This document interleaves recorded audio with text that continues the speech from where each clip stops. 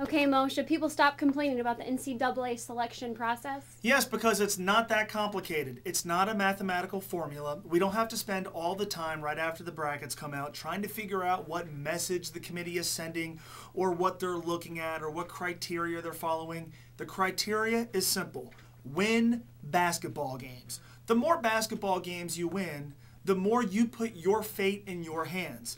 The problem with half of these schools, whether it's Virginia Tech, whether it's Colorado, frankly, whether it's some of the teams that did make the tournament, is that they put their fate in somebody else's hands. They put their fate in the NCAA selection uh, committee's hands, and that's not a good thing. When you put your fate in somebody else's hands, you have set yourself up to be screwed. And so do what UC has done. Do what Kentucky and Xavier and Ohio State, for example, have done.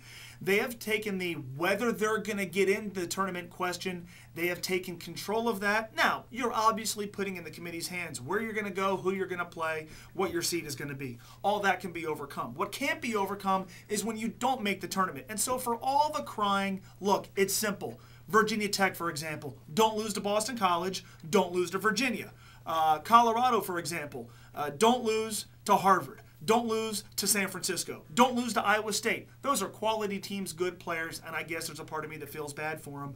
Uh, but it's very, very simple. If you win those games, you have taken control of what your fate is going to be. Prime example, the 2006 UC Bearcats. I think that was a really good team. I think it was a team that could have beaten most in the tournament field. But at the end of the year, they didn't close out a game against Syracuse. They gave away a game, against Villanova. They couldn't beat Seton Hall there, and that was a dog of a Seton Hall team.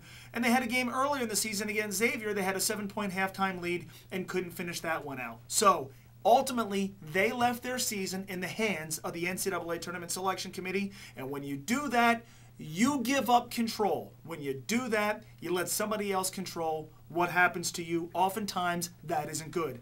You avoid that by very simply winning basketball games. Tell me what you think. Mo at ESPN1530.com or tweet me at Mo Egger1530.